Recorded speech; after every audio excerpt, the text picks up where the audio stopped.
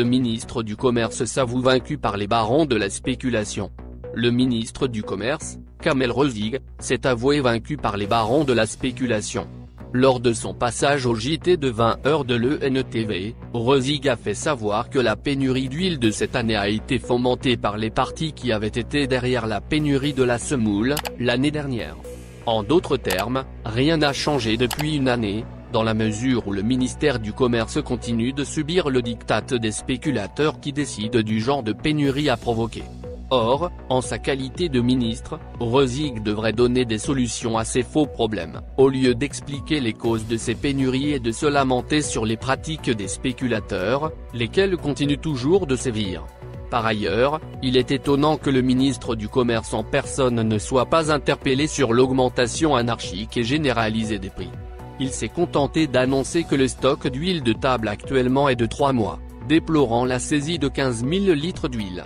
Il n'a, à aucun moment, évoqué l'augmentation des prix. Regrettable. Old cadre au cœur d'un autre scandale. L'affaire du contrat conclu par Sonatrach avec Air Product, une entreprise américaine leader mondial dans les gaz industriels, ressemble à bien des aspects à celle de l'acquisition par l'Algérie de la raffinerie d'ExxonMobil implantée en Italie. C'est à l'automne 2018 qu'Air Product et Sonatrach annoncent des contrats d'investissement en Algérie. Ils portaient sur l'approvisionnement en hélium et la création de deux nouveaux sites de séparation des gaz de l'air. Novembre 2018, Abdelmoumen Ould Cadre, PDG de Sonatrach, était encore en poste.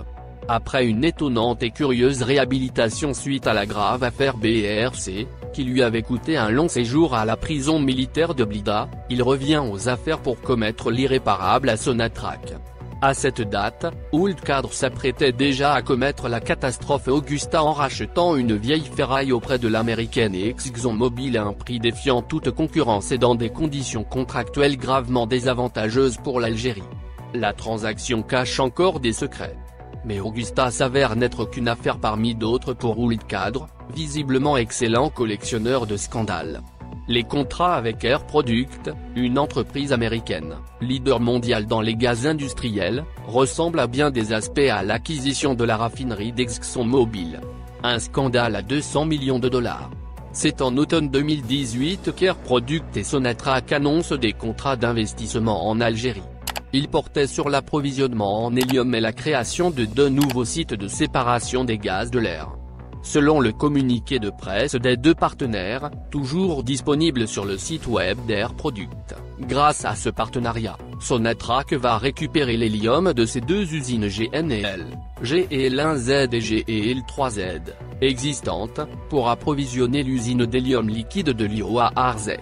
Ce site figure parmi les sources majeures d'hélium d'air product dans le monde et cet apport supplémentaire de matières premières va permettre d'accroître encore le volume de gaz liquide produit par l'usine de la Joinventure.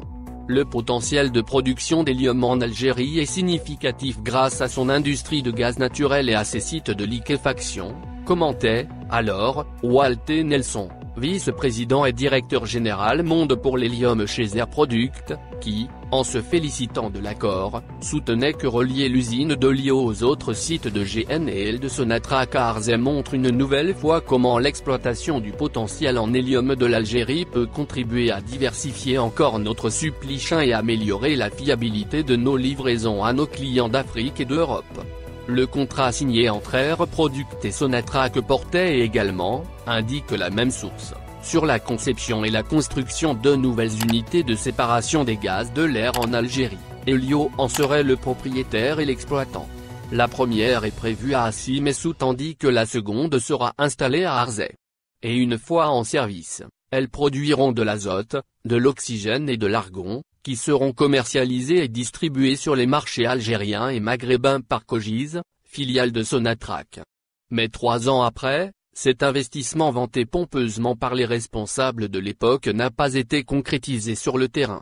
Selon des sources dignes de foi, les deux unités de production en question ont certes été livrées et acheminées en Algérie, il y a de cela deux mois, mais ont été déclarées non conformes par les experts de Sonatrach eux-mêmes. Le matériel serait importé de Chine. Le projet est-il compromis? On n'en sait rien encore. Ce qui est sûr, c'est que la énième bourde d'Ould Cadre fait jaser à Sonatrach, qui se retrouve encore lésé dans un autre scandale. Pendant ce temps, Air Product a déjà empoché les 200 millions de dollars, le prix des deux unités de production que les experts considèrent exorbitant. Leur valeur réelle, affirment ces derniers, ne dépasse pas les 35 millions de dollars l'unité. Pas seulement, les clauses du contrat signé avec Air Product sont plus avantageuses pour ce dernier que pour Sonatrach à travers ses deux fiales Elio et Cogiz. L'accord imposé par l'ancien PDG de Sonatrach, Abdelmoumen Ould Kadr, offrait la part belle aux partenaires américains, déjà en contrat avec Elio selon la règle 5149. Air Product a édicté, selon nos sources, ses propres règles à Sonatrach, qui paye 100% de la production, Tacor paie, avec une bonification obligatoire de 1 million de dollars par mois, que les unités soient en activité ou à l'arrêt. Plus que cela, le contrat, conclu de gré à gré faut-il le préciser, contient une clause qui exige que toute la production soit dirigée à l'exportation.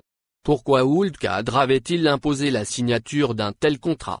Serait-ce pour faire plaisir à son fils Mohamed Nazim, employé d'Air Product Une chose est sûre, son passage à la direction de la Compagnie nationale des hydrocarbures a été dévastateur.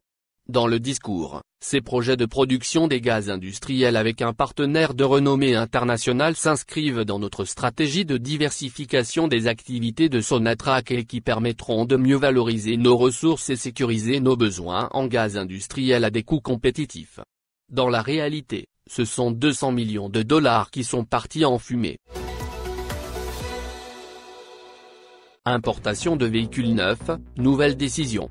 Alors que le cahier des charges relatif à l'importation de véhicules neufs en Algérie a été publié en août dernier, le processus d'agrément des nouveaux concessionnaires est suspendu, rapporte, ce mardi 23 mars 2021, le site TSA, citant une source proche du dossier. Selon la même source, les agréments provisoires délivrés par le ministère de l'Industrie ont été annulés, ce qui présage le retour de l'industrie du montage automobile. Les agréments provisoires d'importation de véhicules neufs plafonnés à 2 milliards de dollars, ont été octroyés par le comité technique chargé de l'examen et du suivi des dossiers relatifs à l'exercice de cette activité.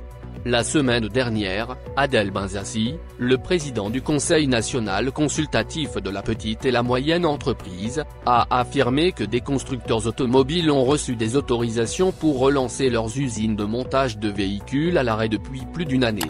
Pour rappel, le président Tebboune a ordonné, à l'issue du Conseil des ministres tenu le 28 février dernier, d'assainir en urgence le dossier d'importation des kits CKD SKD destinés au montage automobile en Algérie.